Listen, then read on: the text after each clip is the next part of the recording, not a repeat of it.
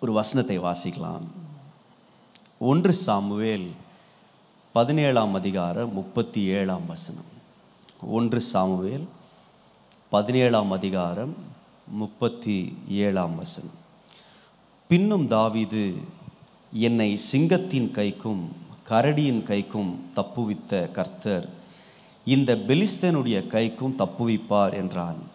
அப்பொழுது சவுல் தாவீதை பார்த்து போ கர்த்தர் உன்னுடனே கூட இருப்பாராக என்றான். நான் தொடர்ந்து இந்த பகுதியை நான் வாசிக்க போகிறேன். பட் தொடர்ந்து வாசிப்பதற்கு முன்பதாக இந்த வார்த்தையை சவுளுடைய வாயிலிருந்து தாவிது கேட்டவுடன் அவனுடைய மனதில் ஓடி இருக்கும் அந்த உணர்வுகளை நான் சற்று யோசிக்க விரும்புகிறேன். இப்போ சவுல் சொல்கிறாரு கோலியாத்தோடு சண்டை போடும்படியாக நீ போகலாம் அப்படின்றார். இந்த போகலாம் என்ற வார்த்தை சாதாரண வார்த்தையாக இருந்தாலும் அதனுடைய ஆழம் ரொம்ப மிகப்பெரிய ஆழமான வார்த்தை. ஏனென்றால் இங்கே சவுல் எதற்காக தாவிதை அனுப்புகிறார் என்றால் தன்னுடைய தேசத்தை முழுவதும் ரெப்ரசன்ட் பண்ணும்படியாக தன்னுடைய தேசத்தின் பிரதிநிதியாக இந்த தாவிதை அனுப்புகிறார். எதை நம்பி அனுப்புகிறார்னா இவன் எப்படியும் ஜெயிப்பான். ஏன்னா இவன் தோற்றுவிட்டால் நம்முடைய தேசமே தோற்றுறது போல. ஏன்னா கோலியத்தா தான் சொல்கிறார் நான் ஜெயிச்சா நாங்கள் எல்லோரும் தோ ஜெயிச்ச மாதிரி நீ தோத்தா உங்கள் தேசமே தோத்த மாதிரி. ஸோ இப்படிப்பட்ட ஒரு தன்னுடைய தேசத்தையே பிரதிநிதியாக தேசத்தின் பிரதிநிதியாக ஒருவரை இவன் அனுப்புகிறார். யார்? சவுல் வந்து தாவிதை அனுப்புகிறார். இந்த தாவிது வந்து இதுவரைக்கும் கோலியாத்தை சந்திக்கிறதுக்கு யாருமே போகல இவர் தான் ஃபஸ்ட் ஆளாக போகிறார் எனக்கு இதை படிக்கும் பொழுது இது எவ்வளோ பெரிய ஒரு வாய்ப்பு. ஒரு தேசத்தை ரெப்ரசன்ட் பண்ணுறது அப்படின்றது எவ்வளோ பெரிய ஒரு வாய்ப்பு. இன்னும் சமீபத்தில் இந்த கிரிக்கெட் ஐபிஎல் நடந்தது. சில பேர் ஃபாலோ பண்ணுவீங்கன்னு நினைக்கிறேன். அதில் ஆக்ஷன் ஒன்று நடத்துவாங்க. அதாவது இந்த பிளேயர்ஸை இந்த கிரிக்கெட் வீரர்களை வந்து ஒரு ஏலத்தில் வச்சு எடுப்பாங்க. எல்லா கிரிக்கெட் வீரர்களும் எடுப்பாங்க. ஒரு ஒரு டீம்லேயும் பார்த்தீங்கன்னா ஒரு இருபத்தஞ்சு பேர் அப்படி எடுப்பாங்க. இந்த இருபத்தஞ்சு பேரில் பாதி பேர் வந்து விளையாடவே மாட்டான். அதில் சில பேருக்கு வந்து ஒரு மேட்ச் கூட வாய்ப்பு கிடைக்காது. ஆனால் இந்த ஏலத்தில் அவங்க எடுத்துட்டாங்கன்னு சொன்னால் அவங்க வந்து பார்த்தீங்கன்னா அந்த சோஷியல் மீடியாவில் போஸ்ட் போடுவாங்க. ஃபேஸ்புக் இன்ஸ்டாகிராம்லாம் அவ்வளோ சந்தோஷமாக போடும் அவன் உண்மையாக ஒரு மேட்ச் அது விளாடவனா கூட தெரியாது. அவனை சப்ஸ்டியூட்டில் கூட போட மாட்டாங்க. ஆனால் அவ்வளோ சந்தோஷம் இருக்கும். எதுக்கு? நான் வந்து அந்த இருபத்தஞ்சு பேரில் யார் ஆகிட்டேன் ஒரு வாரம் ஆயிட்டேன். ஆனால் இங்கே வந்து தாவிது வந்து இருபத்தஞ்சு பேரில் ஒருத்தர் ஆகலை. இவர் தான் தேசத்துக்கே ஒருத்தர். எவ்வளோ பெரிய ஒரு பாக்கியம் எவ்வளோ பெரிய ஒரு ஒரு பெருமையான ஒரு விஷயம். நான் இதை படித்த பொழுது இது மாத்திரம் இல்லை இவரை ஒரு ஆளாக செலக்ட் பண்ணிவிட்டு நீங்கள் வேதத்தில் முப்பத்தெட்டாம் வசனத்தில் வாசித்தீங்கன்னா சவுல் தாவிதுக்கு தன் வஸ்திரங்களை உடுத்தி வித்து வெண்கலமான ஒரு சீராவை அவன் தலையின் மேல் போட்டு ஒரு கவசத்தையும் அவனுக்கு தரிப்பித்தான். அவனுடைய பட்டயத்தை தாவிது தன் வஸ்திரங்கள் மேல் கட்டிக்கொண்டு அதில் அவனுக்கு பழக்கம் இல்லாதால் நடந்து பார்த்தான். நீங்கள் பார்த்தீங்கன்னா இவருக்கு அப்பாயிண்ட் பண்ணது மாத்திரம் இல்லை. நம்ம தேசத்துக்கே நீதான்ப்பா பிரதிநிதின்னு அப்படி அப்பாயிண்ட் பண்ணது மாத்திரம் இல்லை. சவுல் தன்னுடைய வஸ்திரத்தையே கொடுக்குறான். பாருங்க இந்த சவுல் தன்னுடைய வஸ்திரத்தை கொடுக்குறாரு தன்னுடைய மார்க்க வசத்தை கொடுக்குறாரு. இதெல்லாம் பார்த்தீங்கன்னா யாரும் அவ்வளோ ஈஸியாக தரமாட்டாங்க.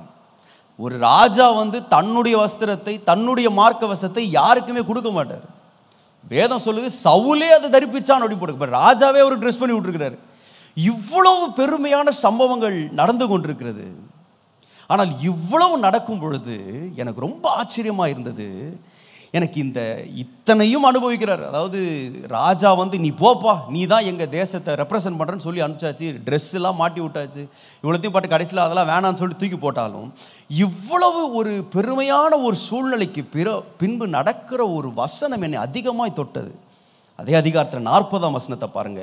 தன் தடியை கையிலே பிடித்து கொண்டு ஆற்றில் இருக்கிற ஐந்து கூழாங்கல்களை தெரிந்தெடுத்து அவைகளை மேய்ப்பருக்குரிய தன்னுடைய அடைப்பையிலே போட்டு தன் கவனை தன் கையிலே பிடித்து கொண்டு அந்த பெலிஸ்தன் அண்டையில் போனான்.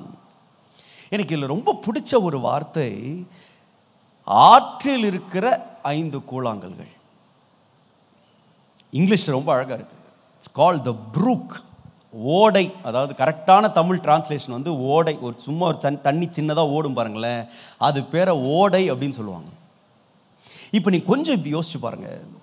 தாவிது சவுல் வந்து நீ போலாம்ப்பா யுத்தத்துக்கு. நீ தான்ப்பா சண்டை போட போகிற கோலியாத்துன உடனே நேராக ஓடிடல கோலியாத்து பக்கமாக கோலியாத்தோடு அவன் சண்டை போடுவதற்கு முன்பதாக அவன் எங்கே போனான்னு சொன்னால் ஒரு சின்ன ஓடைக்கு போனான். He went to the brook இன்றைக்கு என்னுடைய செய்தியின் தலைப்பு இதுதான். To the brook before the battle யுத்தத்திற்கு முன்பாக ஓடைக்கு போ அப்படின்றதான் என்னுடைய செய்தியின் தலைப்பு. இன்றைக்கு அநேக வேலைகளில் நம்ம எல்லாருக்குமே யுத்தம் பண்ணுறதுக்கு ரொம்ப ஆசை. ஒரு வாய்ப்பு கிடச்சிருச்சுன்னா உடனே போய் யுத்தம் பண்ணணும் உடனே போய் சண்டை போடணும் அப்படின்னு ரொம்ப ஆசை எல்லாருக்கும். ஆனால் இந்த தாவிதுக்கு தன்னுடைய வாழ்க்கையின் மிகப்பெரிய ஒரு ஒரு சந்தர்ப்பம் அவனுக்கு கிடைக்குது.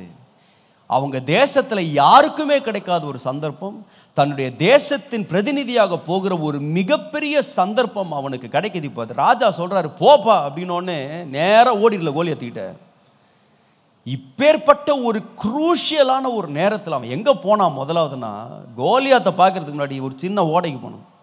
He went to the brook before the battle இந்த ஓடைகள் அல்லது இந்த அமர்ந்த தண்ணீர் அப்படின்னு சொல்லி அந்த அந்த அந்த ஓடைகள்லாம் பார்த்தீங்கன்னா ரொம்ப பெரிய வெள்ளம் மாதிரிலாம் ஓடாது. சின்ன அமர்ந்த தண்ணீர்கள் சொல்லலாம். ஆண்டவர் அநேக வேளைகளில் இப்பேற்பட்ட அமர்ந்த தண்ணீர்கள் அண்டையில் நம்மை கொண்டு போகிறார். அதான் சங்கீதம் இருபத்தி மூன்றில் வாசிக்கிறோம். கர்த்தரன் மேய்ப்பராக இருக்கிறார். நான் தாழ்ச்சி அடையேன் அவர் என்னை புல்லுள்ள இடங்களில் மேய்த்து அமர்ந்த தண்ணீர் அண்டையில் என்னை கொண்டு போய் விடுகிறார். அவர் என் ஆத்துமாவை தேற்றி தம்முடைய நாமத்தின் நிமித்தம் என்னை நீதியின் பாதைகளில் நடத்துகிறார். நம்முடைய வாழ்க்கையில் இந்த அமர்ந்த தண்ணீர் அண்டைக்கெல்லாம் எப்போ போவோம் போகிற விரும்புவோம் அப்படின்னா எப்போ நம்முடைய வாழ்க்கையில் பிரச்சனைகள் தலைக்கு மேலே போகுதுங்க ஒன்றுமே பண்ண முடியலங்கன்னா அப்போ அந்த நேரத்தில் கேட்போம் ஆண்டவரே இந்த அமர்ந்த தண்ணீர் அண்டு கொண்டு போங்க. ஆனால் இவர் எப்போ திரும்ப போனார்? கர்த்தர் என் மேய்ப்பராக இருக்கிறார் நான் தாழ்ச்சி அடைய போனேன் எனக்கு எந்த குறையும் இல்லை எல்லாமே நல்லா இருக்கு. அந்த நேரத்தில் எங்கே போனார்னா ஓடைகளுக்குள்ளே அமர்ந்த தண்ணீர் நண்டைக்கு போவதற்கு தன்னை ஒப்பு கொடுத்தார். நம்ம அநேகருக்கு என்ன ஆசை அப்படின்னா அந்த ஐந்தாம் வசனத்தில் வாசிக்கிற மாதிரி என் சத்துருக்களுக்கு முன்பதாக நீர் எனக்கு ஒரு பந்தி ஆயத்தப்படுத்த மாட்டேன் அதுதான் நம்ம டைரெக்டாக அங்கே தான் போகணும்னு நினைக்கிறோம். ஆனால் தேவன் நம்மை சத்துருக்களுக்கு முன்பதாக ஒரு பந்தி ஆயத்தப்படுத்தி நம்மை கூட்டிக் கொண்டு செல்வதற்கு முன்பதாக ஆண்டு எங்கே கொண்டு போகிறார்னா அமர்ந்த தண்ணீர் அண்டையில் நம்மை கொண்டு போகிறார். Are we willing to be led in the still waters before we can have a feast before the enemies இந்த சத்துருக்களுக்கு முன்பதாக பந்தியில் உட்காந்து சாப்பிட்றதுக்கு முன்பதாக இந்த அமர்ந்த தண்ணீர்கள் அண்டையில் கர்த்தர் நடத்துகிற அந்த இடத்திற்கு நாம் போவதற்கு ஆயத்தமாக இருக்கிறோமா? இந்த சிறிய ஓடைகளுக்கு ஆண்டர் நம்மை முதலாவது நடத்துகிறார். யுத்தத்தில் போய் சண்டை போடுறதுக்கு முன்பதாக பெரிய வெற்றிகளை எடுப்பதற்கு முன்பதாக கோலியாத்தை வீழ்த்துவதற்கு முன்பதாக ஆண்டவர் நடத்துகிற இந்த சிறிய ஓடைகளுக்கு நாம் போவதற்கு நாம் ஆயத்தமாக இருக்கிறோமா? இதை நான் படிக்கும்போது எனக்கு ரொம்ப சந்தோஷமாக இருந்துச்சு. ஏன்னா அந்த சூழ்நிலை பார்த்தீங்கன்னா பயங்கர ஒரு ப்ரெஸ்ஸிங் சூழ்நிலை. அதாவது ரொம்ப நெருக்கடியான ஒரு சூழ்நிலை. இந்த பெலிஸ்தியன் நாற்பது நாட்களாக கத்திக்கிட்டு இருக்கிறான். என்ன கத்துறானா யாரோ ஒருத்தன் வாங்க என் கூட சண்டைக்கு. யாரோ ஒருத்தர் வாங்க. காலில் ஒரு வாட்டி சாயங்காலம் ஒரு வாட்டி அப்படின்னா எண்பது முறை கத்தி கொண்டிருக்கிறான் ஆனால் அப்பேற்பட்ட ஒரு நெருக்கடியான சூழ்நிலையில் உடனடியாக ஆக்ட் பண்ண வேண்டும் என்ற சூழ்நிலையில் உடனடியாக காரியங்களை சாதிக்க வேண்டும் எப்படியாக இந்த யுத்தத்தை ஜெயிக்க வேண்டும் என்ற ஒரு நெருக்கடியான அவசர கால சூழ்நிலையில் கூட தாவிதி எதை மறக்கலைன்னா நாங்கள் போகிறதுக்கு முன்னாடி ஒரு ஓடை ஒன்று இருக்குப்பா. என்னுடைய வாழ்க்கையில் அந்த ஓடைக்கு நான் செல்ல வேண்டும். I need to go to the brook before I go to the battle இது நம்முடைய வாழ்க்கையில் ஒரு மிகப்பெரிய ஒரு பாடம். இன்றைக்கு நம்முடைய வாழ்க்கையில் ஒரு வருகிற எல்லா வாய்ப்புகளையும் நம்ம உடனே குதிக்கணும்னு நினைக்கிறோம். Some of us jump into every opportunity எப்படி குதிக்கிறோன்னா நம்மை நாமே எக்யூப் பண்ணாமல் நம்மை நாமே அதற்கு பயிற்றுவிக்காமல் நம்முடைய அந்த அந்த யுத்தத்திற்கு தேவையான உபகரணங்கள் நம்முடைய வாழ்க்கையில் இருக்குதா இல்லையான்னு பார்க்காம உடனே யுத்தத்தில் குதிக்கிறதுக்கு நம்ம ஆசைப்படுவதனால் அநேக முறைகளிலே நாம் அந்த யுத்தங்களிலே தோற்று விடுகிறோம் we become ineffective because we go dry because we not fed ourselves from the brook இந்த ஓடையில் அவன் போய் இந்த தாவிது அந்த கூழாங்கற்களை அந்த ஓடையிலேருந்து எடுக்காமல் அவன் போயிருந்தான் வைங்களேன் அந்த யுத்தத்தில் அவன் தோற்று போயிருப்பான்.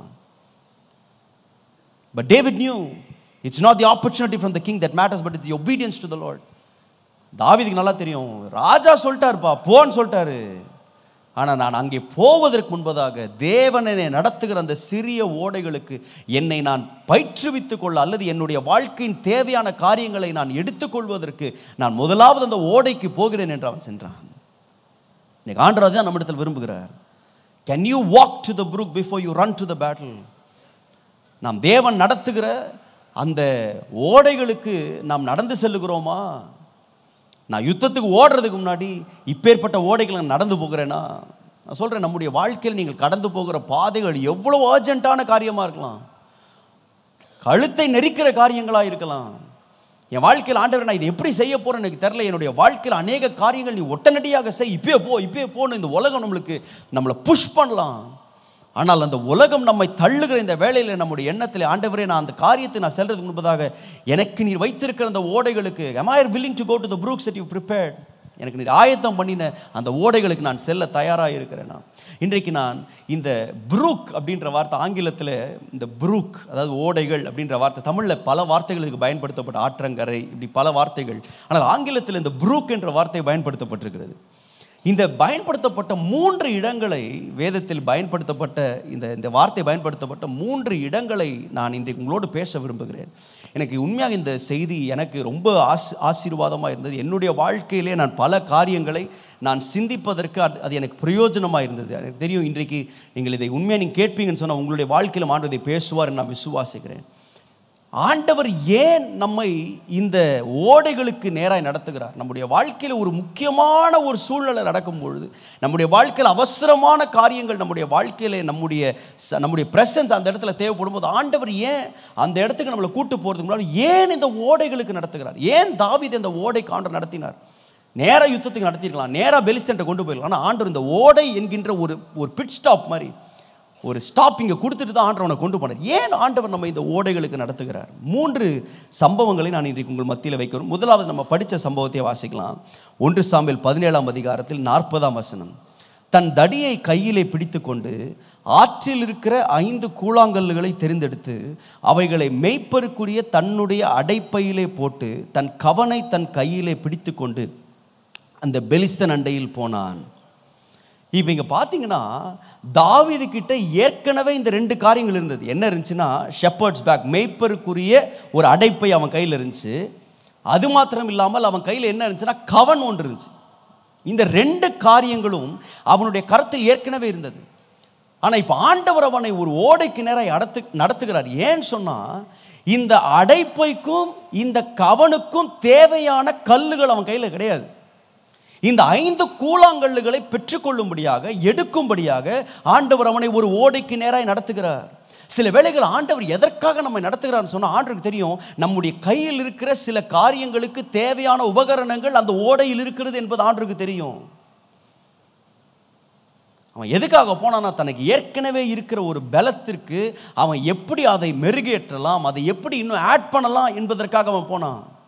ஆண்டவர் கூட பாருங்க நாம் எதற்காக அழைக்கப்பட்டிருக்கிறோமோ அதற்காக கிருபை ஆண்டவர் தருவதற்கு உண்மையாக இருக்கிறார். ஆனால் நம்ம நிறைய வாட்டி என்ன பண்ணுறோம்னு சொன்னால் நமக்கு எது இல்லையோ அதற்கான கிருபையை கேட்டுட்ருக்கோம். நம்ம எதற்காக அழைக்கப்படலையோ அந்த ஓட்டத்திற்கான கிருபையை கேட்டுக்கொண்டு நீங்கள் நிறைய பேருக்கு தெரியும். நம்மளுக்கு பாட்டு வராது அப்படின்னு சில பேருக்கு தெரியும். ஆனால் பாருங்கள் பாடியே தீருவேன். அதாவது பாடலாம் ஆனால் மற்றவங்க கேட்கணும் இல்லை? இல்லை? எல்லாரும் பார்த்தீங்கன்னா ஒரு ஒருத்தருக்கு ஒரு ஒரு கிஃப்ட் இருக்கு. எனக்கு எல்லாமே செய்ய முடியும் நான் சொல்ல முடியாது. All of us have different gifts சில பேருக்கு நல்லா சமைக்க தெரியும். ஆனால் சில பேருக்கு பாருங்க டீ கூட போட தெரியாது. அது டீயா காஃபியா பூஸ்டா ஹார்லிக்ஸானே நம்ம அவங்க பேர் சொன்னால் தான் நம்மளுக்கே புரியும். சில பேர் சொல்லுவாங்க அவங்க வே- அவங்க ஹஸ்பண்ட்டை சொல்லுவாங்க எங்க சாம்பார் வைக்கவா ரசம் வைக்கவா? அப்படின்னு கேட்டால் அவர் சொல்லுவார் நீ முதல்ல வெய்மா அப்புறம் பேர் வச்சுக்கலாம். அந்த மாதிரி. அது என்னன்னே புரியாது. எங்கள் வீட்டில் வந்து எங்கள் அம்மா வந்து பார்த்தீங்கன்னா மிக்சிங்னு சொல்லுவாங்க. அதை நீங்களாம் மிக்சிங்னா உங்களுக்கு எப்படின்னு தெரியும். அதாவது ஃபஸ்ட்டு நாள் சாம்பார் இருக்கும் அடுத்த நாள் ரசம் இருக்கும் மூணாவது நாள் சாராசம் அப்படின்னு ஒரு பேர் நம்மளே வச்சுக்கலாம். அது அது ரெண்டு மிக்ஸ் ஆகி அடுத்த நாள் பார்த்தா காய்கறி எல்லாம் சேர்ந்து வரும். அது என்ன பேர்னே நம்மளுக்கு தெரியாது. ஒரு வாட்டி எங்கள் அம்மாட்ட கேட்டம்மா இது என்னம்மா? ஏ அது மூணு நாள் ஆச்சுரா மிக்ஸ் பண்ணி ஆரம்பிச்சு இப்போ என்னன்னே தெரிலடா எனக்குண்ணா அது எனக்கு வந்து சமையல் வந்து செமையாக ஒரு பயங்கரமாக நான் சமைப்பேன். எஸ்பெஷலாக அந்த மேகி டூ மினிட் நூடுல்ஸ் இருக்குது பார்த்தீங்களா அதை அப்படி எடுத்து அப்படி உடச்சி அப்படியே அந்த மொறு மொறுன்னு அப்படி போட்டு அந்த தண்ணியில் அப்படியே வேகும் போது அப்படியே கிண்டிக்கிட்டு லைட்டாக கொஞ்சம் உப்பு போட்டு லைட்டாக கொஞ்சம் நம்ம பெப்பர் ஆட் பண்ணி அப்படி போட்டு கடைசியில் அப்படி எடுத்து அந்த சைடில் இன்னொரு முட்டையை போட்டு அப்படி லைட்டாக அப்படி ஃப்ரை பண்ணி அப்படி எடுத்து இவ்வளோ தான் ஆனால் அது சொல்கிற விதம் இருக்குது பார்த்தீங்களா அது நம்மளுக்கு நல்லா வரும். செய்கிற சில பேர்லாம் பார்த்தி செய்கிறது என்னன்னா வந்து டூ மினிட் நூடுல்ஸ் தான். ஆனால் அது சொல்கிற விதம் சில ஹஸ்பண்ட்ஸ்லாம் ஒரு நாள் சமைச்சிட்டா போதும். ஐயோ அவங்க பண்ணுற பந்தாக இருக்குது பாருங்களேன் நம்மளால் தாங்கவே முடியாது. எனக்கு வந்து வரையவே வராது. இந்த வரைகிறது வந்து நம்மளுக்கு சுட்டு போட்டாலும் வராது. ஆனால் இந்த எங்கள் வீட்டில் சில வாட்டி இந்த பிக்ஷனரின்னு ஒன்று விளாடுவோம் அந்த பிக்ஷனரினா என்னென்னா வரைஞ்சி காட்டுவாங்க. இந்த ஊமை செய்கை போட்டியில் நடித்து காட்டணும். இந்த பிக்ஷனரி அப்படின்னு சொல்கிறது ஒரு வார்த்தை கொடுப்பாங்க. அதை நம்ம வரைஞ்சி காட்டணும். என் மனைவிக்கு நல்லா தெரியும் எனக்கு வரைய வராது. ஆனால் வேணே என்ன தான் வரைய விடுவாங்க. ஏன் எதுக்கு? வின் பண்ணுற ஜெயிக்கிறதுக்கு இல்லை. அதெல்லாம் பார்த்து குடும்பமாக உட்காந்து சிரிச்சு நிற்பாங்க எல்லாம். எப்படி வரைகிறான் அப்போது நம்ம எல்லாருக்குமே தெரியும் சிலது நம்மளுக்கு வராது. ஆனால் சில காரியங்கள் பாருங்கள் நம்மளுக்கு நேச்சுரலாக வரும். சில காரியங்கள். அதனால தான் ஆண்டவர் சபையை எப்படி குறிப்பிடுறாருன்னா பாடி ஆஃப் கிரைஸ்ட் வந்து பல அவயவங்கள் ஒன்றாக இருக்கிறத குறிப்பு ஒரு ஒருத்தருக்கு ஒரு ஒரு கிஃப்ட் இருக்கும். எல்லாம் கண்ணாக இருக்க முடியாது எல்லாம் வாயாக இருக்க முடியாது எல்லாம் கையாக இருக்க முடியாது. ஆண்டவர் பல அவயவங்களை ஒன்றாக இணைத்து வைத்திருக்கிறார். அதை நாம் அறிந்து கொள்ள வேண்டும். இந்த தாவிது பாருங்க நல்லா அறிஞ்சு வச்சிருந்தான். நம்ம கையில் என்ன இருக்குது கவன் இருக்குது நம்ம கையில் என்ன இருக்குது மேய்ப்பனுடைய பை ஒரு பவுச் ஒன்று இருக்குது ஆனால் இதில் என்ன இல்லைன்னா கவனுக்கு தேவையான கல்லும் இல்லை உள்ளே போட வேண்டிய கூழாங்கல்லும் இல்லை வா போகலாம் இன்றைக்கு இதுதான் பிரச்சனை. நம்மளுக்கு நல்லா தெரியும் நம்முடைய கிஃப்ட் என்ன அப்படின்னு தெரியும். நம்முடைய தாளந்து என்ன? தேவன் நம்ம எதற்காக அழைத்திருக்கிறார்? எல்லாமே நம்மளுக்கு தெரியும். ஆனால் என்ன பிரச்சனை அப்படின்னு சொன்னால் இந்த ஆண்டவர் நடத்துகிற ஓடைகளுக்கு நம்ம போகாட்டி நம்முடைய கூழாங்கற்களை எடுக்கவே முடியாது. இன்றைக்கு நிறைய பேர் இந்த பழைய பேக் வச்சே சுற்றிக்கிட்டு இருக்கு. பழைய கவன் வச்சே சுற்றிட்டு இந்த உள்ளே இருக்கிற கூழாங்கல்லே கிடையாது. சும்மா கவனை வச்சு சுற்றிக்கிட்டு இருக்கு. ஆனால் ஆண்டர் சொல்கிறார் வாங்கப்பா ஓடைக்கு வாங்கப்பா. நீ யுத்தத்துக்கு போகிறதுக்கு முன்பதாக கோலியாத்தை இப்போ கோலியாத்தை சந்திக்கிற மாதிரி கவனம் மட்டும் வச்சு நீ போக முடியாது. வெறும் அந்த பையை மட்டும் மாட்டிக்கிட்டு போக முடியாது. அதற்குள்ளாக தேவையான கூழாங்கற்களை எடுக்கிற இடத்திற்கு நம்ம போகாமல் யுத்தத்தில் நாம் வெற்றி பெற முடியாது. The problem is we have not taken time to go to the brooks to find our நம்முடைய வாழ்க்கையிலே தேவையான காரியங்களை உபகரணங்களை எடுப்பதற்கான அந்த ஓடைகளுக்கு செல்லாமல் நாம் இருப்பதினால் நாம் எஃபெக்டிவாக இருப்ப இருக்க முடிவதில்லை. இது எப்படி இருக்குன்னா உலகத்திலேயே நல்ல மெஷின் கண்ணை வச்சுக்கிட்டு உள்ளே போடுறது புல்லட் இல்லாத மாதிரி உள்ள குண்டுகள் இல்லாமல் கண்ணை மட்டும் சுற்றிக்கிட்டு இருப்பான் பார்த்தீங்க சில பேர்? அப்படியே ஒன்றும் இருக்காது. பார்க்குறது தான் பயமாக இருக்கும். ஒரு குண்டு வராது.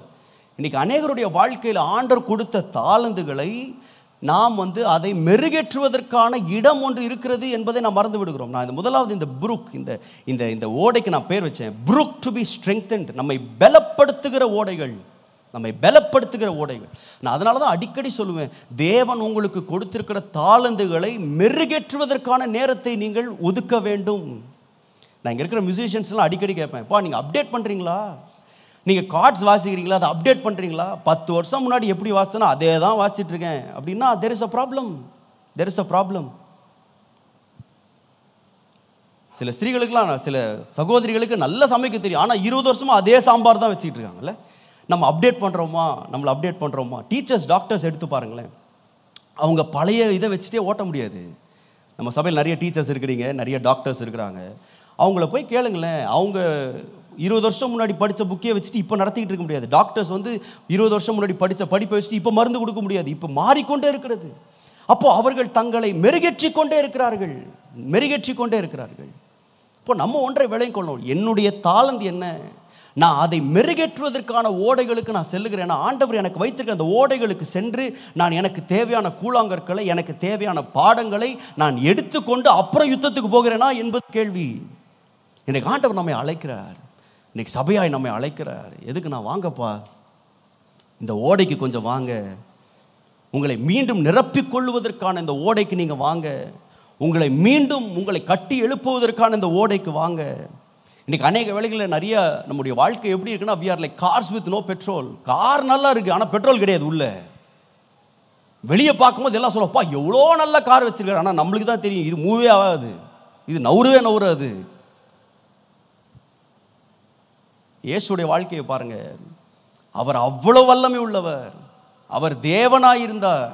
ஆனால் அந்த தேவனாக இருந்தவர் அற்புதங்களை செய்வதற்கு முன்பதாக ரா முழுவதும் தன்னை ஆயத்தப்படுத்தினார். அவர் ஜெபிச்சார். அவருக்குரிய இடத்திற்கு அவர் போனார். தன்னை ரீசார்ஜ் பண்ணுகிற இடத்திற்கு அவர் போனார்.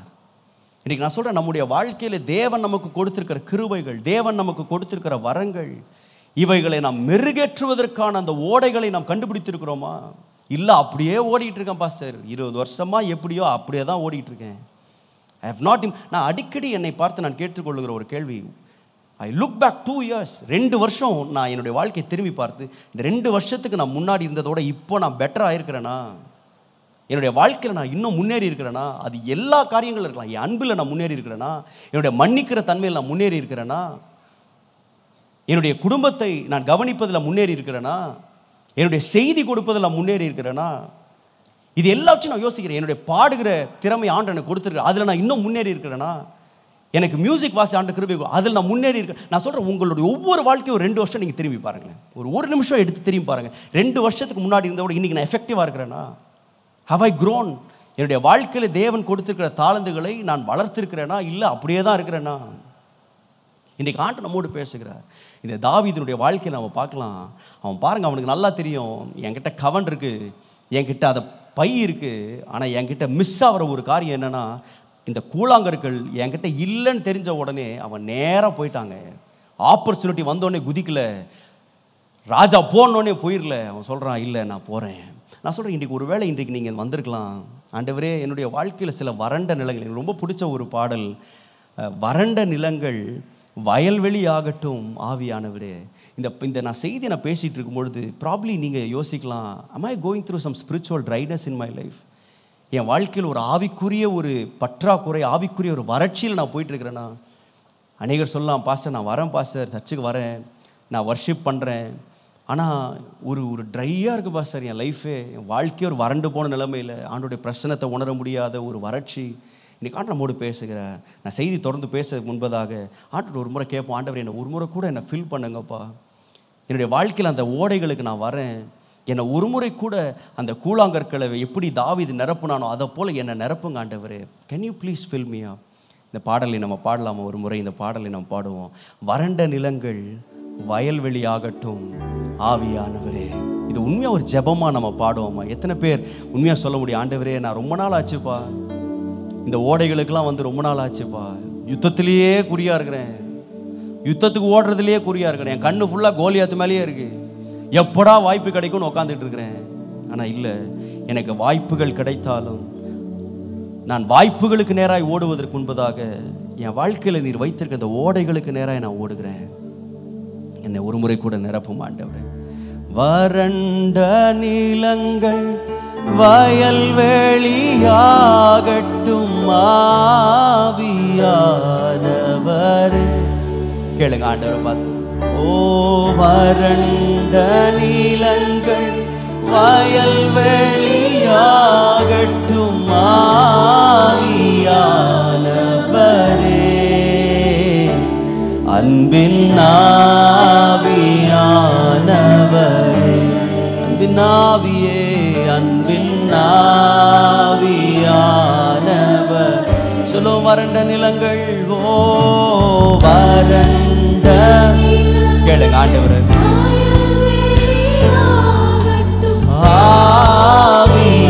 ஆவியானவரே வறண்ட நிலங்கள் வறண்ட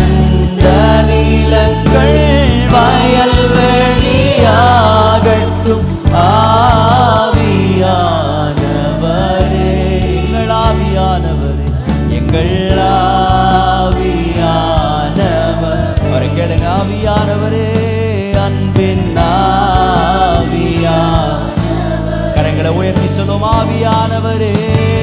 ஆவியானவர். அன்பின் ஆவியே அன்பின் ஆவியான ஓ ஆவியானவரே. ஆவியான ஒரு முறை கூட எங்களை நிரப்ப மாட்டவரே. அந்த ஓடைகளுக்கு நேராக நாங்கள் வருகிறோம். எங்களை நிரப்பும் அப்பா. ஆவியானவரே. ஆ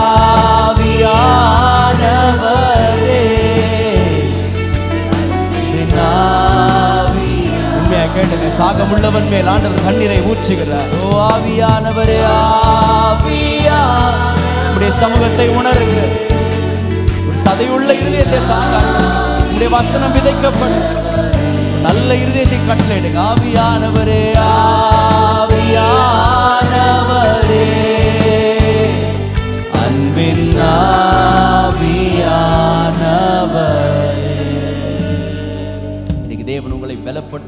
ஓடைகளுக்கு உங்களை அழைக்கிறார் எனக்கு தெரியும் இங்கே இருக்கிற ஒவ்வொருவருக்கும் தேவன் அநேக தாளந்துகளை கொடுத்துருக்கிறார் ஆனால் நம்முடைய பிரச்சனை என்னன்னா sometimes you don't go to the brooks to fill us up நம்மை நிரப்பி கொள்ளுகிற நம்மை பலப்படுத்துகிற அந்த ஓடைகளுக்கு தேவன் நம்மை அழைக்கிறார் முதலாவது புரூக் டு பி ஸ்ட்ரெங்தன்ட் என்னை பலப்படுத்துகிற ஓடைக்கு தேவன் நம்மை கொண்டு வருகிறார். இரண்டாவது ஒரு ஓடையை நம்ம பார்க்கலாம். ஒன்று சாம்பியல் முப்பதாம் அதிகாரத்திலே நாம் இதை வாசிக்கிறோம். அப்பொழுது தாவிதும் அவனோடு இருந்த அறுநூறு பேரும் போனார்கள். அவர்கள் பேசோர் ஆற்றண்டைக்கு வந்தபோது அது இங்கிலீஷில் புரூக் அப்படின்னு நம்ம வாசிக்கிறோம். அவர்கள் பேசோர் ஆற்றண்டைக்கு வந்தபோது அங்கே சிலர் நின்று போனார்கள். தாவிதோ நானூறு பேரோடும் கூட தொடர்ந்து போனான். இருநூறு பேர் விடாய்த்து போனபடினால் பேசோர் ஆற்றை கடக்க மாட்டாமல் நின்று போனார்கள். இந்த சம்பவம் நமக்கு தெரிஞ்ச ஒரு சம்பவம். இங்கே தாவிது ஒரு யுத்தத்திற்காக போகிறார். ஒரு சண்டைக்காக அறநூறு பேர் அவர்கள் தங்கள் குடும்பத்தை விட்டுட்டு அவங்க வந்து சண்டைக்கு போகிறாங்க மூன்று நாள் அவர்கள் யுத்தத்துக்கு போகிறாங்க மூன்று நாள் முடிச்சுட்டு யுத்தத்தை முடிச்சுட்டு அவங்க திரும்பி வரும்பொழுது பார்த்தால் தங்கள் குடும்பம் முழுவதும் தன்னுடைய மனைவி பிள்ளைகள் எல்லாரும் வந்து அவர்கள் வந்து கொண்டு போகப்படுற அமலேக்கியர்கள் வந்து இந்த குடும்பத்தை முழுதும் கொண்டு போயிடுறாங்க. இப்போ இந்த நானூறு இவர் கூட அறநூறு பேர் இருக்கிறாங்க. இந்த அறநூறு பேர் என்ன பண்ணுறாங்கன்னா இந்த ஆண்டவர்கிட்ட கேட்குறாங்க ஆண்டவரே நாங்கள் தொடர்ந்து போகலாமா அப்படின்னு கேட்டால் ஆண்டவர் சொல்கிறேன் நீங்கள் தொடர்ந்து போங்க நான் உங்களுக்கு பலனை தருவேன் நீங்கள் இழந்ததை எல்லாம் திரும்பி கொள்ளு திருப்பி கொள்ளுவீங்க அப்படின்னு சொல்கிறாரு உடனே இந்த தாவிதும் அவனோடு கூட அறநூறு பேர் கிளம்பலான்னு நினைக்கும் போது அவங்க எங்கே வரைக்கும் வராங்கன்னா அந்த பேசோர் அப்படின்ற இந்த ஓடை கிட்ட வரும்பொழுது என்ன ஆகுறதுன்னு சொன்னால் நானூறு பேர் என்ன பண்ணுறாங்க அவங்க வந்து போகலாம் அப்படின்றாங்க. ஆனால் இரநூறு பேர் சொல்கிறாங்க ஐயா எங்களால் முடியாதுங்க ஐயா இதுக்கு மேலே எங்களால் தாண்ட முடியாது. நாங்கள் எல்லாம் இப்போ தான் யுத்தத்தை முடிச்சுட்டு வந்திருக்கிறோம். இரநூறு பேர் விடாய்த்து போயிட்டாங்க. அவங்களால ச யுத்தத்திற்கு போக முடியாத ஒரு சூழ்நிலையில் அவங்க வந்திருக்கிறாங்க. இப்போ இந்த சூழ்நிலையில் என்ன ஆகுதுன்னா தாவீது என்ன பண்ணுறான் அந்த இரநூறு பேரை விட்டுட்டு போயிடுறான் அங்கே சரிப்பா நீ இங்கே இருங்க அப்படின்னு சொல்லிட்டு இந்த நானூறு பேரை மாத்திரம் கூட்டிகிட்டு போய் இந்த அமலேக்கியர்களை முறிய அடிக்கிறார். முறிய அடித்து அவங்க எடுத்துகிட்டு போன தன்னுடைய மனைவி பிள்ளைகள் அவங்க அது மாத்திரம் இல்லாமல் அவங்களுடைய கொள்ளை பொருள் அதாவது யாரை ஜெயித்தாங்களோ அவர்களிடத்திலிருந்து கொள்ளைக்கான கொள்ளையாடின பொருட்கள் இப்படி ஒரு பெரிய ஒரு வெற்றி எடுத்துகிட்டு எல்லாத்தையும் எடுத்துகிட்டு திரும்பி வராங்க. இப்போ இங்கேருந்து நம்ம இந்த பகுதியை வாசிக்கலாம். இருபத்தி ஓராம் வசனத்திலேருந்து விடாய்த்து போனதினாலே தாவீதுக்கு பின் செல்லாமல் பேசோர் ஆற்றண்டையிலே தங்கியிருந்த இருநூறு பேரிடத்திற்கு தாவிது வருகிற போது இவர்கள் தாவிதுக்கும் அவனோடு இருந்த ஜனத்திற்கும் எதிர்கொண்டு வந்தார்கள். தாவித் அந்த ஜனத்தினிடத்தில் சேர்ந்து அவர்கள் சுக செய்தியை விசாரித்தான். அப்பொழுது தாவிதோடு நடந்து வந்த மனுஷரில் பொல்லாதவர்களும் பேலியாளின் மக்களுமான எல்லாரும் அவர்கள் எங்களோடே வராதபடினால் நாங்கள் திருப்பிக் கொண்ட கொள்ளையுடைமைகளில் அவர்களுக்கு ஒன்றும் கொடுப்பதில்லை. அவர்களில் ஒவ்வொருவனும் தன் தன் மனைவியும் தன் தன் பிள்ளைகளையுமே அழைத்து கொண்டு போகட்டும் என்றார்கள். அதற்கு தாவித் என் சகோதரரே கர்த்தர் நமக்கு தந்ததை நீங்கள் இப்படி செய்ய வேண்டாம். கர்த்தர் நம்மை காப்பாற்றி நமக்கு விரோதமாய் வந்திருந்த அந்த தண்டை நம்முடைய கையில் ஒப்பு கொடுத்தார். இந்த காரியத்தில் உங்கள் சொல் கேட்க யார் சம்மதிப்பான்? யுத்தத்திற்கு போனவர்களின் பங்கு எவ்வளவோ அவ்வளவு ரஸ்துக்கள் அண்டையில் இருந்தவர்களுக்கும் பங்கு வீதம் கிடைக்க வேண்டும். சரி பங்காக பங்கிடுவார்களாக என்றான். அப்படியே இந்நாள் அந்நாள் முதற்கொண்டு நடந்து வருகிறது. அது இஸ்ரவேலிலே இந்நாள் வரைக்கும் இருக்கிற கட்டளையும் பிரமாணமுமாக ஏற்படுத்தினான். இங்கே பாருங்க இந்த நானூறு பேர் யுத்தம் பண்ணிட்டு வராங்க. வந்தால் ஒரு பெரிய கொள்ளையாடிட்டு வந்திருக்கிறாங்க. கொள்ளையாடிட்டு வந்த உடனே தாவீது வந்து சொல்கிறாரு இந்த விடாய்த்து போனது இரநூறு பேர். யுத்தத்துக்கே வரல பாரு நம்ம கூட. இந்த இரநூறு பேருக்கு நம்ம என்ன பண்ணலாம்? இந்த கொள்ளையாடின பொருளை பங்காக கொடுக்கலான்னு சொன்னால் இந்த நானூறு பேர் அவனுக்கு வந்து பயங்கர கோவம் வந்துடும் சொல்கிறான் நாங்கள் ஏன் தரணும்? அவன் மனைவியை கொடுத்துட்றோம் பிள்ளைகளை கொடுத்துறோம் அவ்வளோதான் ஆனால் இந்த கொள்ளையாடின பொருளை நாங்கள் தர முடியாது. ஏன்னா இதுக்கு நாங்கள் யுத்தம் பண்ணோங்க. நாங்கள் சண்டை போட்டோம் நாங்கள் கஷ்டப்பட்டோம். அவனுக்கே நான் பங்கு கொடுக்கணும்? ஆனால் இந்த தாவி இது பாருங்கள் இந்த ஓடையில் அவன் ஒரு பெரிய பாடத்தை அவன் கற்றுக் கொடுக்குறான். அவன் சொல்கிறான் பா அவன் நம்ம கூட சண்டைக்கு வரல. ஆனாலும் நம்ம என்ன பண்ணுறோம் அவன் நம்ம டீம் பா அவன் நம்ம ஆளுப்பா அவன் நம்ம அவனுக்கு கொடுக்கணும். நான் சொல்கிறேன் இந்த ஓடை நமக்கு ஒரு பெரிய பாடத்தை கற்றுக் கொடுக்குது. Some of us are shell of self selfishness சில வேளைகளில் நான் இந்த- இந்த வார்த்தை கொஞ்சம் கடினமான வார்த்தையாக இருந்தாலும் சில வேளைகளில் நான் எனக்கு என் குடும்பம் என் பிள்ளை இப்படி என்று ஒரு வட்டத்தை நாம் சுற்றி வரைந்து கொண்டு அதற்குள்ளேயே நாம் வாழ வேண்டும் என்று நினைக்கிறோம்.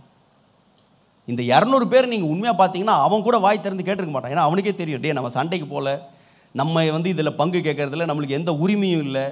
இவனுக்கு தான் கஷ்டப்பட்டானுங்க. எனக்கு தெரிஞ்சு அவன் கூட கேட்டானான்னு தெரில ஆனால் தாவீது சொல்கிறாரு இல்லைப்பா அவன் நம்ம கூட சண்டைக்கு வரல தான் பரவாயில்ல. ஆனால் நம்ம அவனுக்கு கொடுப்போம்.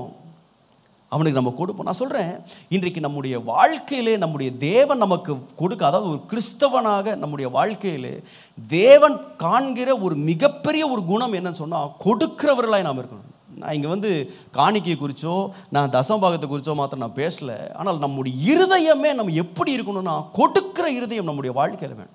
நம்மை சுற்றி யாரோ ஒருத்தன் கஷ்டப்படுறாங்க நம்முடைய சுட் நம்ம பக்கத்தில் இருக்கிறவங்க நமக்கு தெரிந்தவர்கள் யாரோ ஒருத்தன் கஷ்டப்படுறாங்க என்னால் முடிந்ததை நான் கொடுக்கிற குணமுள்ளவனாய் நான் இருக்க வேண்டும். கோ அவுட் டு ஹெல்ப் இங்கே தாவிது நன்றாக தெரியும் நான் வந்து நானூறு பேரோட சண்டை போடுறதுக்கு நான் போனேன். இந்த இரநூறு பேர் வந்து விடாய்ச்சி போயிட்டாங்க ஆனால் நான் சண்டை போட போனேன் ஆனால் நான் சண்டை போட போனதுக்கு என்னை பலப்படுத்தினது யாருன்னா ஆண்டவர் தான் என்னை பலப்படுத்தினார். ஏதோ என் பலத்தில் நான் போல. நான் இந்த வெற்றி எடுத்தது ஏதோ என்னுடைய சாமர்த்தியத்தினால அல்ல. என்னுடைய பலத்தை காட்டிலும் தேவன் என்னை பலப்படுத்தினார். நான் அதனால தான் போனேன். அது மாத்திரம் இல்லை. இன்றைக்கு நான் ஏதோ பலனோட இந்த நானூறு பேர் கும்பலில் இருக்கிறேன். நாளைக்கு நானே பலவீனமாக இந்த இரநூறு பேர் கும்பலில் நான் இருக்க முடியும். இன்றைக்கு நான் அவர்களை நான் இப்படி ட்ரீட் பண்ணுறேன்னா நாளைக்கு ஒருவேளை நான் அந்த நிலைமையில் இருக்கும் பொழுது எனக்கும் இந்த நிலைமை தான். அப்போது தாவிது வந்து பாருங்கள் இவ்வளோ சொல்கிறாருப்பா அந்த விடாய்த்து போனவன் பாவன் ஆனால் அவன் நம்முடைய குடும்பம். அவன் நம்மோட கூட இவ்வளோ நாள் இருந்தான். அவன் எத்தனை யுத்தங்கள் நம்மோடு கூட செஞ்சிருக்கிறான். இந்த நேரத்தில் நம்ம அவனை வந்து தனியாக விடக்கூடாதுப்பா. அவனுக்கு கொடுக்க வேண்டியது நாம் கொடுக்க வேண்டும். நான் சொல்லுவேன் சில வேளைகள் ஆண்டவர் நம்மை ஆசீர்வதிக்கும் பொழுது தேவன் நமக்கு கொடுக்கும் பொழுது நம்ம வந்து கஞ்சூஸாக இருக்கக்கூடாது. சொல்லுவாங்கள்ல கஞ்சத்தனம் பண்ணக்கூடாது. ஒரு வார்த்தையும் சேர்த்து சொல்லுவாங்க சொல்ல விரும்பல நான். கஞ்சூஸாக இருக்கக்கூடாதுன்னு சொல்லுவாங்க. இன்றைக்கி கிறிஸ்தவர்களாக நாம் இருக்கும் பொழுது நாம் தேவனை அறிந்த பிள்ளைகளாக இருக்கும் பொழுது நம்ம மற்றவர்களுக்கு நம்மை சுற்றி இருக்கிறவர்கள் அது ஏழைகளாக இருக்கலாம் விதவைகளாக இருக்கலாம் கஷ்டப்படுறவங்களா இருக்கலாம் நம்முடைய கண்களுக்கு தெரிந்து ஒருவர் கஷ்டப்படுறாங்கன்னு சொன்னால் அதான் நல்ல சமாரியனுடைய சம்பவம் இல்லை. பெரிய இப்போ ப்ரீஸ்டாக இருக்கிறவர் இல்லை லேவியன் இல்லை யார்னா சமாரியன் ஒருத்தன். அவன் என்ன பண்ணானா கஷ்டப்படுற ஒருத்தன் அவன் போய் உதவி செஞ்சான் பாருங்க. ஆண்டவர் அவனை தனக்கு ஒப்பிட்டு பேசினார். நான் தான் நல்ல சமாரியன்பா அந்த நல்ல சமாரியன் நான். பாருங்கள் ஆண்டவர் நம்முடைய வாழ்க்கையில் எப்படி எதிர்பார்க்கணும் கொடுக்கிறவர்களாய் தேவன் நம்ம எதிர்பார்க்கிறேன் எனக்கு இதில் எனக்கு பிறகு நடந்தது ரொம்ப இதாக இருந்துச்சு படிக்கும்போது இந்த நானூறு பேர் சும்மா அமைதியாக இருந்திருக்கலாம்னு நினைக்கிறேன். தாவீதுகிட்ட போய் பேசாமலே இருந்திருக்கலாம். இந்த நானூறு பேர் ஃபஸ்ட்டு என்ன சொன்னால் இந்த இரநூறு பேர் கொடுக்கூடாது சொன்னான். தாவிது கடைசி என்ன பண்ணார் தெரியுமா? இரநூறு பேருக்கா கொடுக்கூடாது வாங்க அப்படின்ட்டு பாருங்க. இருபத்தாறு வசனத்துலேருந்து பாருங்க. தாவிது சிக்லாக்குக்கு வந்தபோது அவன் கொள்ளையாடினவைகளில் தன் சிநேகிதராகி யூதாவின் மூப்பருக்கு சிலவற்றை அனுப்பி இதோ கர்த்தருடைய சத்துருக்களின் கொள்ளையில் உங்களுக்கு உண்டாயிருக்கும் ஆசீர்வாத பாகம் என்று சொல்ல சொன்னான். இரநூறு பேர் இல்லை இது இரநூறு பேருக்கு மேலே போயிடுச்சு இப்போ யார் யாருக்கு அனுப்பினான்? பாருங்கள் பாருங்க இருபத்தி ஏழாம் வசனம். பெத்தேலில் இருக்கிறவர்கள் தெற்கான ராமோத்தில் இருக்கிறவர்கள் யாத்தியரில் இருக்கிறவர்கள் ஆரோவேரில் இருக்கிறவர்களுக்கும் சிப்மோத்தில் இருக்கிறவர்களுக்கும் எஸ்தே மோகா அது எஸ்தே மோகாவில் இருக்கிறவர்களுக்கும் ராக்காலில் இருக்கிறவர்களுக்கும் எரோமியாலரின் பட்டணங்களில் இருக்கிறவர்களும் கேணியரின் பட்டணங்களில் இருக்கிறவர்களுக்கும் ஓர்மாவில் இருக்கிறவர்களுக்கும் கெரோசாவில் இருக்கிறவர்களுக்கும் ஆற்றாகில் இருக்கிறவர்களும் எப்ரோனில் இருக்கிறவர்களுக்கும் தாவித அவன் மனுஷரும் நடமாடின எல்லா இடங்களில் இருக்கும் அனுப்பினான். தேவையா? உனக்கு உங்களுக்கு வாயை மூட்டு இருந்திருந்தா இது இரநூறு பேரோட போயிருக்கும். இவன் கேட்க போய் ஏன் இரநூறு பேர் இரநூறு பேரா? வா நான் போன இடத்துல இரு, எல்லாம் உனக்கு அனுப்புகிறேன் போ. இன்றைக்கி நான் சொல்கிறேன் ஆண்டவர் சில வேலையில் பார்த்தீங்கன்னா நம்ம இந்த நம்ம கண்களுக்கு தெரிந்த இடத்துல நம்ம கொடுக்காத போது கடைசியில் பார்த்தீங்கன்னா எங்கெங்கேயோ கொடுத்துன்னு போகணும். நான் அதை பற்றி பேச விரும்பலை விட்டுரும் அதோட. ஆனால் ஆண்டவர் நம்முடைய வாழ்க்கையில் கொடுப்பதற்கான வாய்ப்புகளை சில வேலை ஏற்படுத்துவாருங்க. அதனால தான் ஆண்டவர் சொன்னார் ஆண்டோட கேட்டாங்க நீங்கள் எப்போ நாங்கள் உதவி செய்யலைன்னு? கேட்டார். ஆண்டு சொன்னார் எப்பா ஆண்டு சொல்கிறார் நான் நான் சிறைச்சாலையில் இருந்தேன் நீங்கள் வந்து என்னை பார்க்கல. நான் தேவையில் இருந்தேன் நீங்கள் எப்போ ஆண்டவர் நீங்கள் தேவையில் இருந்தீங்க எப்போ நீங்கள் ஆனால் சொன்ன இந்த சிறியவர்களில் ஒருவனுக்கு நீ எதை செய்யவில்லையோ அதை நீ எனக்கே செய்யலப்பா. நம்ம நிறைய வாட்டி ஆண்டர் நான் உமக்கு செய்கிறேன் ஆண்டு சொல்கிறேன் ஃபஸ்ட்டு சிறியவனுக்கு செய்யுங்கப்பா. அந்த சிறியவனுக்கு செய்ய நீங்கள் எனக்கு செய்கிற மாதிரி.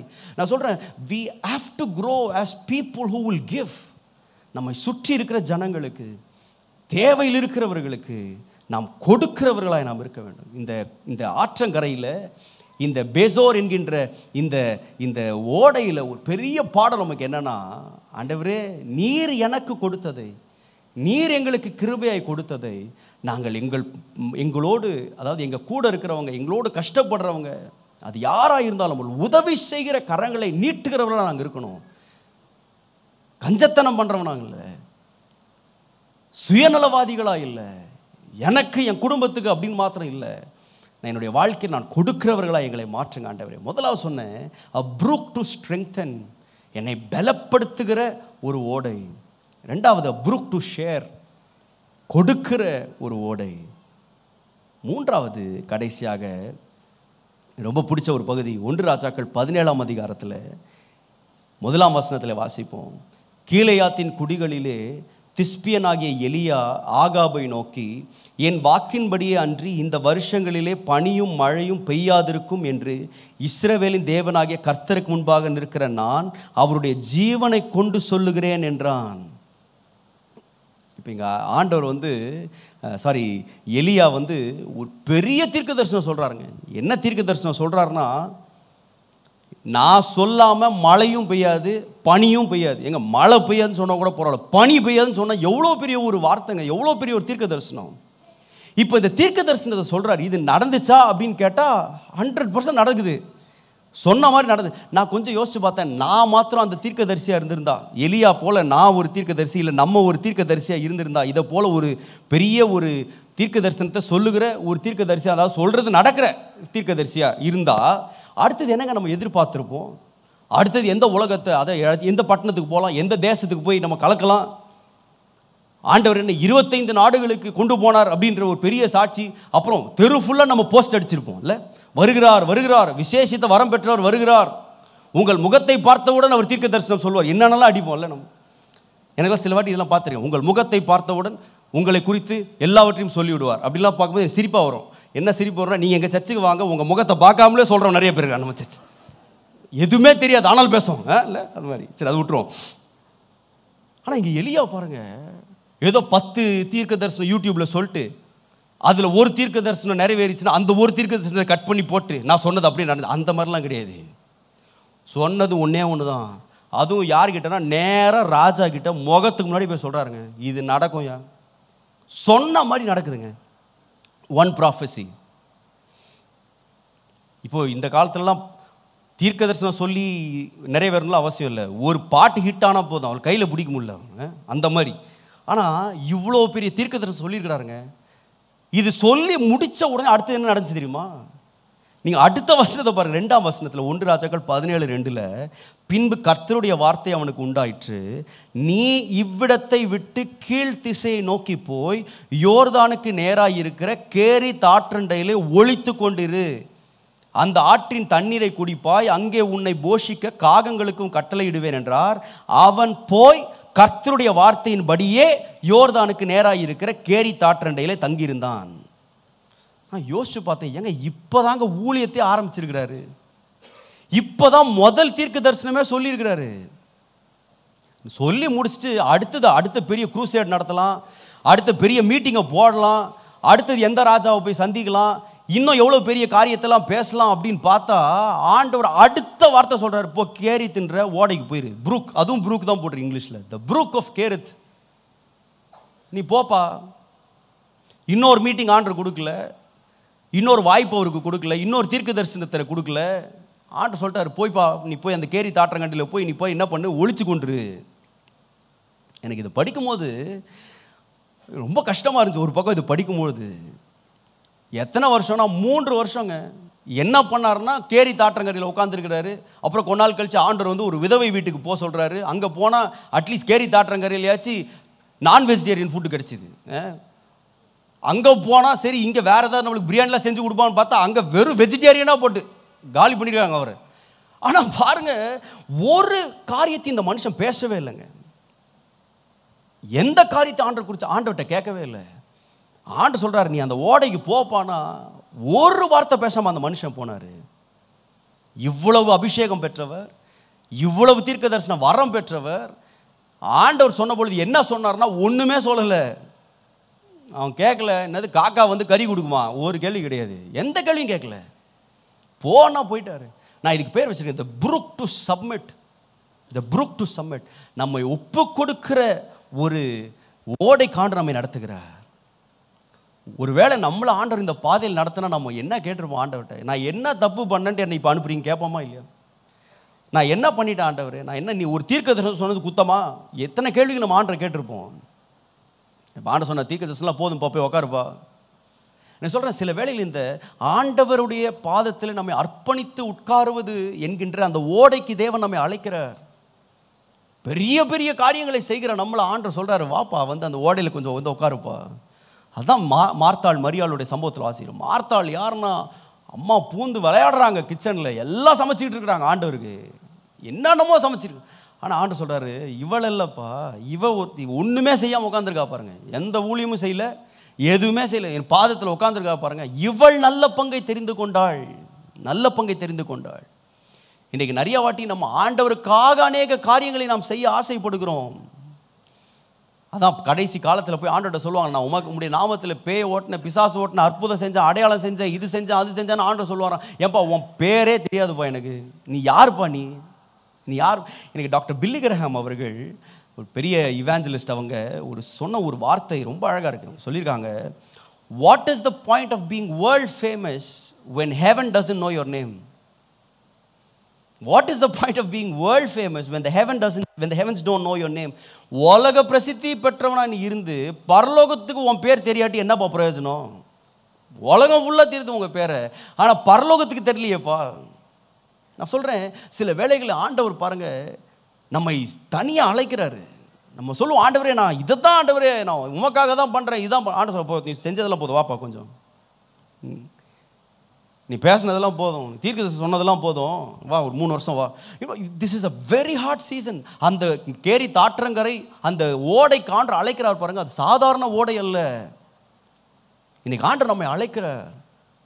ஆண்டவரே நான் எனக்கு பல திட்டங்கள் இருக்கலாம். என் வாழ்க்கை குறித்ததான மேன்மையான எண்ணங்கள் மேன்மையான திட்டங்கள் என் வாழ்க்கையில் இருக்கலாம். நான் இதெல்லாம் செய்யணும் அதெல்லாம் செய்யணும். ஆனால் சில வேலை ஆண்டு அழைக்கிறாருப்பா கொஞ்சம் ஒரு பிரேக் எடுத்துட்டு வாப்பா.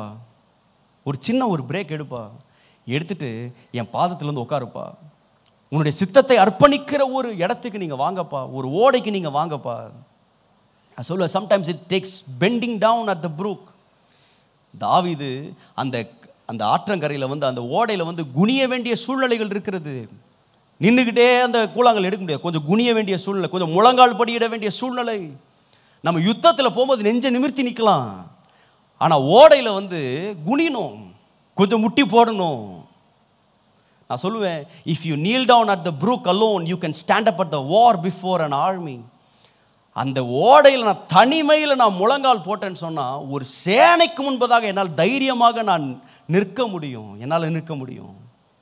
சில வேளைகள் ஆண்டவர் நம்ம அந்த அந்த பேசிக்ஸ் அந்த அடிப்படையான காரியங்களுக்கு தேவன் நம்ம அழைக்கிறார். நான் சொல்கிறேன் நம்முடைய வாழ்க்கையில் வேத வாசிப்பை குறித்தும் தேவன் நம்முடைய வாழ்க்கையில் ஜெப வாழ்க்கை குறித்தும் ஆண்டு நம்முடைய இடைப்படுகிறார்.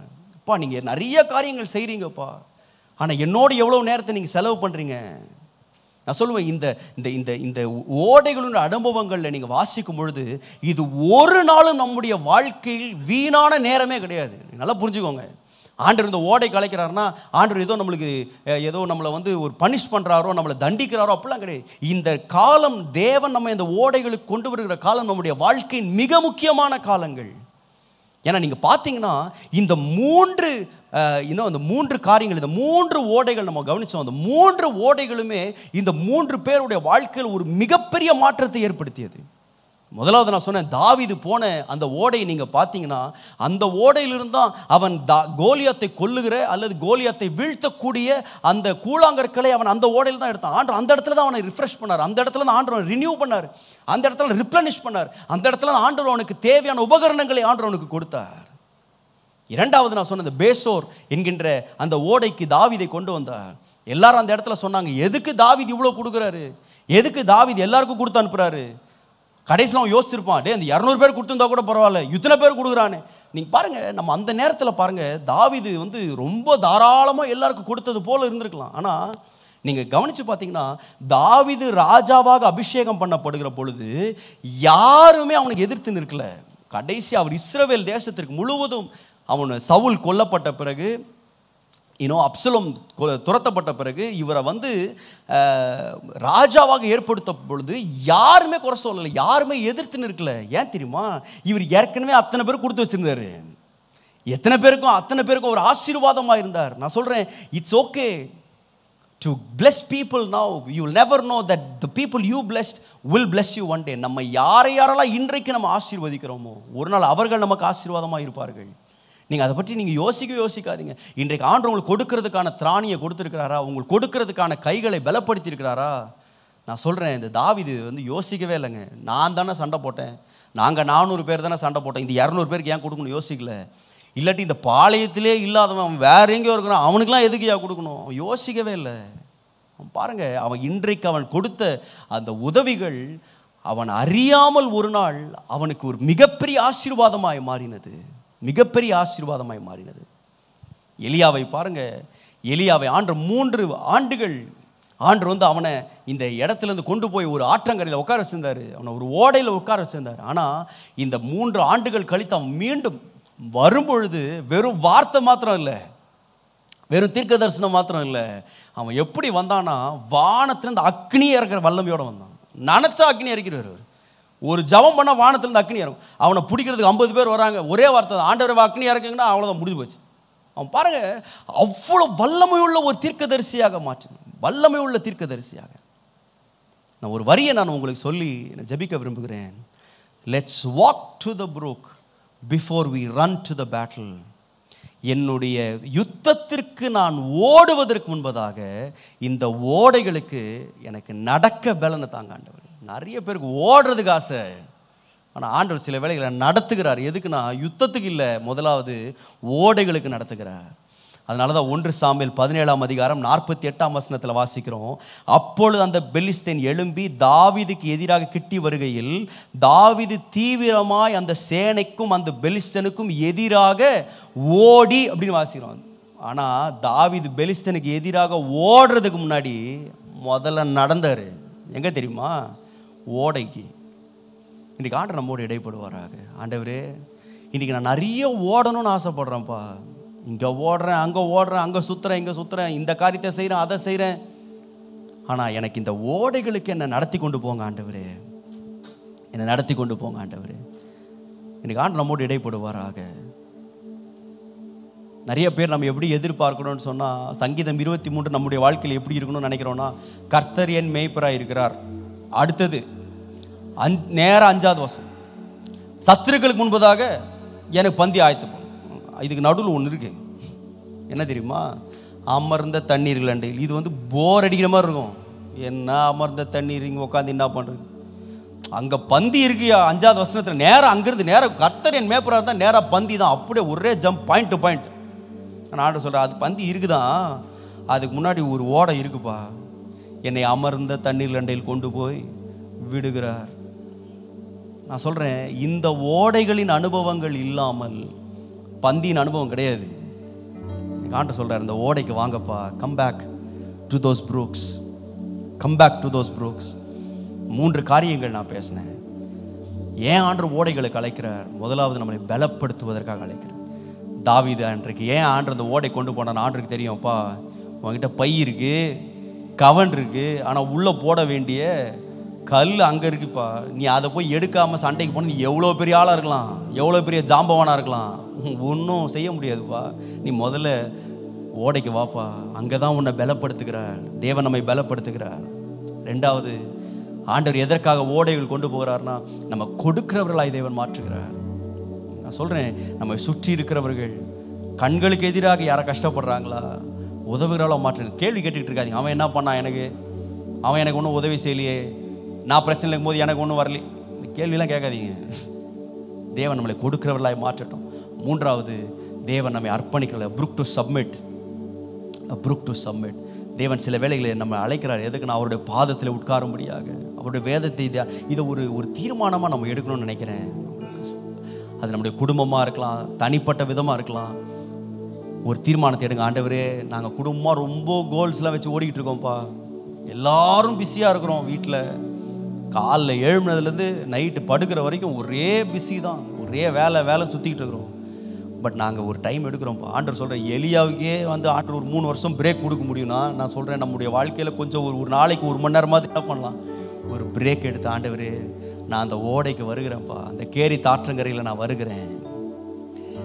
இன்னும் நான் முடிப்பதற்கு முன்பதாக ஏன் வந்து இந்த ஓடைகளுடைய அனுபவம் நம்மளை ரீசார்ஜ் பண்ணுகிற நம்மை மீண்டும் கட்டி எழுப்புகிற இந்த ஓடைகள் ஏன் ரொம்ப முக்கியம் அப்படின்றத நான் இப்போ சமீபத்தில் கற்றுக்கொண்டேன். ஒரு இப்போ ஒரு பாடம் எனக்கு. ஒரு ரெண்டு மாதம் இருக்கும்னு நினைக்கிறேன். வேலூரில் ஒரு மீட்டிங் சண்டே ஆஃப்டர்நூன் ஈவினிங் ஒரு மீட்டிங் ஸோ இங்கே சண்டே சர்வீஸ் முடிச்சுட்டு மத்தியானம் நல்ல வெயில் அன்னைக்கு. கார் எடுத்துகிட்டு போகிறோம் நான் என் ஒய்ஃபு ரெண்டு பசங்க. நாலு பேர் போகிறோம் வேலூர். நான் கார் எடுக்கும் போதே பார்த்தேன் காரில் வந்து டயரில் வந்து ஒரு பெரிய ஒரு பல்ஜ் ஒரு கார் டயர் வீங்கியிருக்கு. அப்போது என் ஒய்ஃப் சொன்னாங்க டயர் சரியில்லை அப்படின்னு சொன்னாங்க. நான் சொன்னேன் அதெல்லாம் ஒன்றும் பிரச்சனை அது ரொம்ப நாளாகவே இருக்குது ஒரு ரெண்டு ஒரு ஒரு ரெண்டு வாரமாக பார்த்துட்டு தான் இருக்கிறேன். ஆனால் இது வந்து ஒரு லாங் ட்ரிப் போக போகிறோம் நான் சொன்னேன் ரெண்டு வாரம் ஒன்றும் ஆகலை ஒன்றும் ஆகாது பார்த்துக்கலாம். வண்டி எடுத்துகிட்டு போயிட்டோம். ஒரு ஒன் ஹவர் தான் போயிருப்போம். டபால் ஒரே வெடி டயர் வெடிச்சிருச்சு. ஆஹ், நடு நடு ரோட்டில் வெயிலில் நின்றுட்டுருக்குறோம் ஆனால் அதோட ரொம்ப சுவாரஸ்யமான விஷயமா வேதனையான விஷயமான்னு தெரில. என்ன விஷயம்னா கார் எங்கே நின்றுச்சோ திரும்பி பார்த்தா கரெக்டாக ஒரு டயர் கடை. அதாவது என்னது? பஞ்சர் கடைலாம் கிடையாது. புது டயர் விற்கிற கடை. நான் எந்த டயர் வாங்கணும் புதுசு டயர் மாற்றணும்னு நினச்சனோ அதே டயர் கடை. ஆனால் பிரச்சனை என்ன தெரியுமா? சண்டே டயர் க்ளோஸ் கடை க்ளோஸ் எப்படி இருக்கும் கொஞ்சம் யோசிச்சு போகிறோம் போடா டயர் கடை கர்த்தர் என்ன அழகாக நம்ம நடத்துகிறாரு என்ன டைமிங் அப்படின்னு நினச்சி பார்த்தா கடை க்ளோஸ்டு சண்டே சொல்கிறேன் ஒரு டூ ஹவர்ஸுங்க அட்லீஸ்ட் ரெண்டு மணி நேரம். அதான் கார் நீங்கள் அந்த கார் வந்து நின்று ஒரே இடத்துல நின்று இருந்துச்சு கொஞ்ச நேரத்தில் ஏசி ஆஃப் ஆயிடுச்சு. அப்போ நீங்கள் கொஞ்சம் யோசிச்சு பாருங்கள் ஏசியும் இல்லாமல் ரெண்டு பசங்க என்னை வந்து என்ன என்ன என்ன சொல்கிற மனசில் என்னென்னலாம் திட்டினானோ தெரில ரெண்டு பசங்க. ஒரே பிரச்சனை என்ன தெரியுமா? என் கையில் அன்னைக்கு என்ன இருந்துச்சுன்னா பை இருந்துச்சு. கவன் இருந்துச்சு. அதாவது என்னது? கார் இருந்துச்சு பெட்ரோல் இருந்துச்சு கொஞ்ச நேரம் ஏசி கூட ஓடுச்சு. ஒரே பிரச்சனை என்ன தெரியுமா? டயரு அவுட் அதுக்கு ஏன் காரணம் தெரியுமா? போக வேண்டிய ஓடைக்கு முன்னாடி போகல நேரம் யுத்தத்துக்கு போயாச்சு. எடுறா காரை கார் இருக்குது பெட்ரோல் இருக்குது ஏசி இருக்குது வா வண்டி. வண்டியில் ஒரு பிரச்சனை இருக்குது ஃபஸ்ட்டு போய் அதை சரி பண்ணுவோம். மெக்கானிக் ஷாப் போவோம் சர்வீஸ் சென்டருக்கு போவோம். நான் ஒரு கொஞ்ச நேரம் அந்த டயர் மாத்திர மிஞ்சி போனால் ஒரு டுவெண்ட்டி மினிட்ஸ் தேர்ட்டி மினிட்ஸ் ஆயிருக்கும். ஒரு அரை மணி நேரத்தில் மாற்றி கொடுத்துருப்பானு. ஒரு புது டயர் மாத்திர அரை மணி நேரம் ஆயிருக்கும் கடைசியில் அது செய்யாதனால நான் சொல்கிறேன் ரோட்டில் ரெண்டு மணி நேரம் நின்றுருந்தேன். என்ன பண்ணுறதுன்னு தெரியாமல் இன்றைக்கி அநேகம் நம்மளுக்கு தெரியும் இந்த ஏரியாவில் நம்முடைய லைஃப்பில் ஒரு பிரச்சனை இருக்குன்னு தெரியும். நம்முடைய குடும்பத்தில் இந்த பகுதியில் ஒரு பிரச்சனை இருக்குன்னு தெரியும். அதை பற்றி கவலையே கிடையாது. வா போவோம் யுத்தத்துக்கு. ஆண்டு சொல்கிறாருப்பா யுத்தத்துக்கு போகிறதெல்லாம் சரிப்பா. ஃபஸ்ட்டு ஒரு பிரச்சனை இருக்குல்ல. காலியாக இருக்கிற ஒரு பை இருக்குல்ல கவனை வச்சுக்கிட்டு என்ன பண்ண போகிறோம் சுற்றிக்கிட்டா இருக்க போகிறோம் அங்கே போயிட்டு. நீ கொஞ்சம் யோசிச்சு பாருங்களேன் கோலி எத்து முன்னாடி கவனை மட்டும் இப்படி சுற்றிக்கிட்டே இருந்தா ஏற்கனவே சிரிச்சுக்கிட்டு இருக்கான். ஏடா என்னை பார்த்தா உனக்கு நாய் மாதிரி இருக்கான்னு கேட்டான். எதுக்கு? கோலோடு தடியோடு வர்றதுக்கு நான் இவன் சும்மா சு அவன் என்ன? கொஞ்சம் யோசிச்சு இன்றைக்கி இன்னைக்கு நிறைய பேர் இதாங்க. ஆண்டவரே நீர் கொடுத்த கவனை கொண்டு நீர் கொண்ட பையை கொண்டு நான் யுத்தத்துக்கு போகிறேன் ஆண்டு கை பை இருக்கு கவன் கல் இருக்கா? அது பார்த்துக்கலாம் அங்கே போய் பார்த்து அங்கே ஒன்றும் பார்க்க முடியாது. ஆண்டு சொல்ற நீ போகிற முன்னாடி வாப்பா கொஞ்சம். வந்து உட்காருப்பா ஒரு அஞ்சு நிமிஷம் ஆகுமா? இந்த அஞ்சு இந்த நிறைய பேருக்கு இந்த அரை மணி நேரம் சண்டை போடுறது பிரச்சனையே கிடையாதுங்க. ஆனால் அந்த அஞ்சு நிமிஷம் இருக்கு பாருங்களேன் அதான் பிரச்சனை. மூணு மணி நேரம் சர்ச்சுக்கு வர்றது பிரச்சனையே கிடையாது. ஏழு நாள் கன்வென்ஷன் போகிறது பிரச்சனை. அந்த அஞ்சு நிமிஷம் ஆண்டரோட உட்காரம் பாருங்களா அப்போ தான் எல்லா ஃபோன் அடிக்குது. அப்போ தான் அழாத பிள்ளை அழுது. நானும் சொல்கிறப்பா அந்த ஓடைக்கு வராமல் நீ படை முன்னாடி போக முடியாதுப்பா. இன்றைக்கி ஆண்டர் நம்ம ஒப்பு கொடுப்போம் ஆண்டவரே. எனக்கு கொஞ்சம் ஹெல்ப் பண்ணுங்கப்பா. எனக்கு கொஞ்சம் ஹெல்ப் பண்ணுங்க. எல்லாரும் முழங்கால் படிக்கலாமா? இன்னைக்கு ஆண்டு நம்மளை அழைக்கிற சில வேளைகளில் நம்முடைய வெற்றிக்கு ஒரே ஒரு கூழாங்கல் போதும்.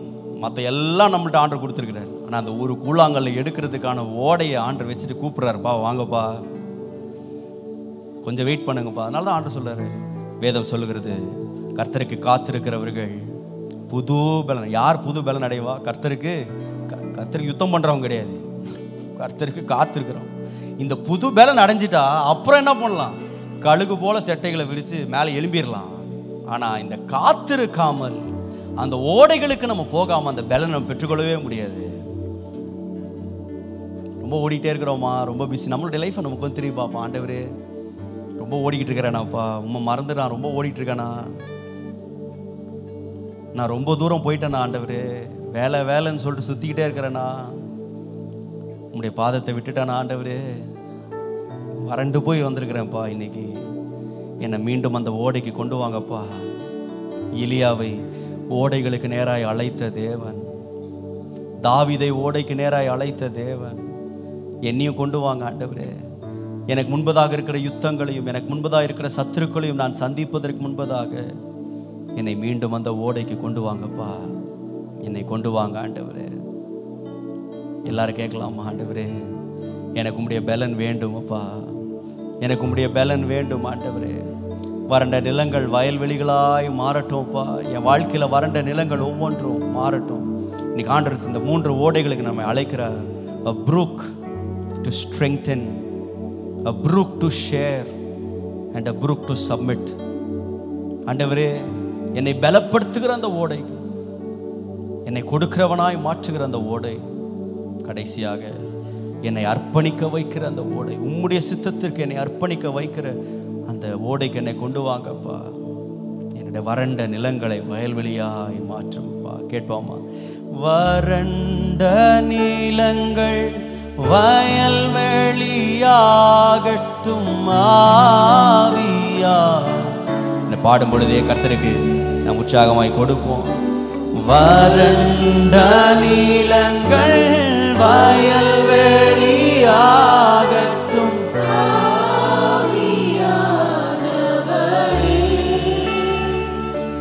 அன்பின் ஆவியானவர். ஓ அன்பின் ஆவியானவர்.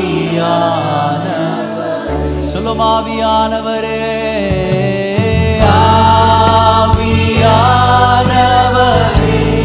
கேளுங்க ஆண்டவர் என்னை நிரப்பும் ஆண்டவர். என் வறண்ட நிலங்களை நிரப்புங்க. என் வறண்ட ஆத்துமாவை நிரப்புங்க ஆண்டவர். ஓ ஆவியானவரே ஆவியானவரே. அன்பினா